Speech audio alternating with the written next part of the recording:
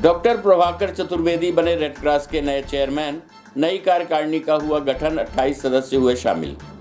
Vice chairman के रूप में डॉक्टर ए के खान एवं डॉक्टर राजेश सिंह को मिली जिम्मेवारी। आपको बता दें कि कलेक्टर मनोज पुष्प द्वारा भारतीय रेड क्रॉस सोसाइटी रीवा की नई कार्यकारिणी का गठन किया गया है, जिसमें 28 सदस्य शामिल हुए हैं। समिति के चेयरमैन डॉक्टर प्रभाकर चतुर्वेदी को बनाया गया है। यही समिति का वाइस प्रेसिडेंट के रूप में जयंत खन्ना को कलेक्टर द्वारा मनोनीत किया गया है। कलेक्टर द्वारा प्रभाकर चतुर्वेदी को रेड क्रॉस का नया चेयरमैन बनाया गया। इसके अतिरिक्त वाइस चेयरमैन के रूप में ए के खान एवं डॉक्टर राजेश सिंह, सचिव डॉक्टर विनोद कुमार श्रीवास्तव सह सचिव डॉक्टर हर सिंह परिहार एवं कोषाध्यक्ष श्री ए श्री प्रशांत जैन को बनाया गया है। इस तरह सभी वर्गों से सदस्यों को शामिल करते हुए 28 सदस्यीय कार्यकारिणी एवं प्रबंध समिति गठित की गई। जिसमें कार्यकारिणी के सदस्यों में doctor S K Srivastava, doctor Sushil Tripathi, product Kanaujia, doctor B K Sharma, Shri N P S Parihar, S D M Tripathi, Shri Sunil Singh UB Tiwari, doctor Ashutosh Agrawal, वरिष्ठ अधिवक्ता सुशील तिवारी, वरिष्ठ चिकित्सक doctor K K Paroham, doctor Manoj Indulkar, doctor Satya Tiwari, doctor B N Tripathi, Shrimati Bharti Sharma, Shrimati Seema Agrawal, doctor Ajit Singh, Shri Mukund Mishra, doctor Aditya Tiwari चुने गए हैं। साथ ही शासकीय अधिकारियों को पदेन रेडक्रॉस के कार्यकारिणी सदस्य बनाया गया, जिसमें मुख्य कार्यपालन अधिकारी, मुख्य चिकित्सा एवं स्वास्थ्य अधिकारी, जिला महिला बाल विकास अधिकारी उप संचालक रोज़गार अधीक्षक, सुपर स्पेशलिटी हॉस्पिटल एवं जिला शिक्षा अधिकारी को नई कार्यकारिणी का पदेन सदस्य बनाए गए हैं। पदाधिकारियों को रेडक्रॉस के सेवा हेतु शपथ दिलाई गई। रेडक्रॉस के कार्यों में गति प्रदान करने के लिए कलेक्टर श्री मनोज पुष्प ने कहा कि रेडक्रॉस अपनी समस्त सेवा क्षेत्रों में बढ़ चढ़ हिस्सा लेगी एवं जनहित के कार्य संचालित करेगी। साथ ही रेडक्रॉस के सेवा कार्यों में प्रशासनिक स्तर से मेरा समस्त विभागों का पूर्ण सहयोग रहेगा। प्रस्तुत है रेडक्रॉस के नए चेयरमैन डॉक्टर प्रभाकर चतुर्वेदी से प्राप्त जानकारी के अंश। ये ईश्वरीय कार्य है और ईश्वर इसके लिए समय भी निकालता है, मदद भी करता है, बल भी देता है, बुद्धि भी देता है।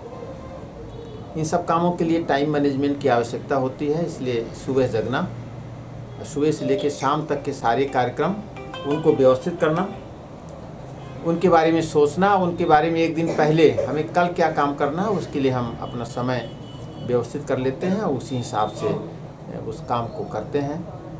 और मेरा प्रयत्न ये रहता है कि अधिक से अधिक जो समय मिले उस कार्य को करूँ सोने का समय 12 से 4 बजे तक ही है, लेकिन शेष सुबह चार बजे से लेके और ग्यारह, साढ़े ग्यारह बजे तक हमारे जो नित्य नैमित्तिक कार्य हैं, हमारे चिकित्सालय के काम काम हैं, हमारे व्यक्तिगत काम हैं, हमारी समाज सेवा के कार्य हैं, सबको अलग अलग भागों में विभक्त करके उनको कितना समय देना, कितना उसके लिए हमको व्यवस्था देना और कहाँ कहाँ किस तरह, किस समय पर जाना, अस्पताल का हमारा जो समय है, उसको लगभग छोड़कर मैं उस मैनेजमेंट के माध्यम से उस समय का जो मैनेजमेंट होता है समय को जो व्यवस्थापन है उस दृष्टि से पूरा काम करते हुए और अपने सभी दायित्वों का मैं निर्वहन करता हूँ। डॉक्टर साहब ऐसा नहीं था कि परिवार के लोग फिर आपसे कभी कभी नाराज़ हो जाते होंगे जब आप कहते सुबह से लेकर शाम तक आप समाज सेवा में लगते और आपकी क्लिनिक में भी सफ़र होता है मरीजों को भी तकलीफ़ होती है इसके बारे में क्या निश्चित रूप से ऐसे अवसर आते हैं लेकिन बहुत कम आते हैं।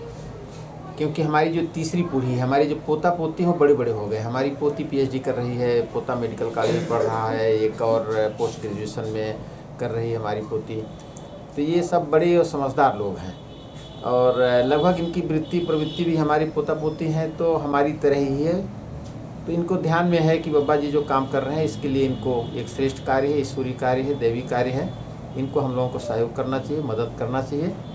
तो ज़रूर छोटे छोटे हमारे पोते हैं, छोटे वाले बेटे के, जो हमारा बेटा प्रोफेसर है और बहू भी प्रोफेसर है, डॉक्टर प्रोफेसर हैं, भोपाल में हैं। तो वो ने दो पोतों के लिए कभी कभी मैं समय निकाल करके उनके बीच में पहुँचता रहता हूँ। या जब कभी वो रीवा भी आते हैं तो मैं उनके लिए समय निकालता हूँ। मैं उन दिनों एक दो रोज़ के लिए अपने सभी कामों को लगभग कम कर देता हूँ। उनके साथ आने जाने घूमने का अवसर मिले। मेरी धर्म पत्नी ज़रूर ताना वाना कभी कभी ऐसे मारती रहती हैं।